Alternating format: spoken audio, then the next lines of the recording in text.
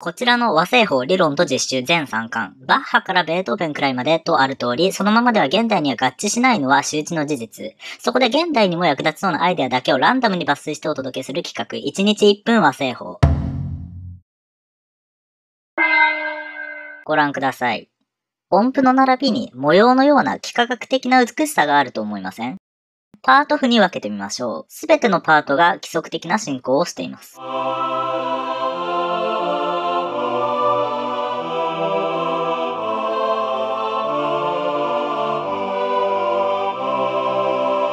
いや、綺麗だなって昔の人も思ってたらしいですよ。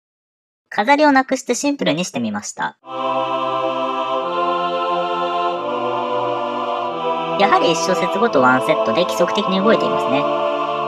マイナーで始めればメタルとも相性がいいですね。世界一格式の低い音楽レッスン、チャットドラゴン先生。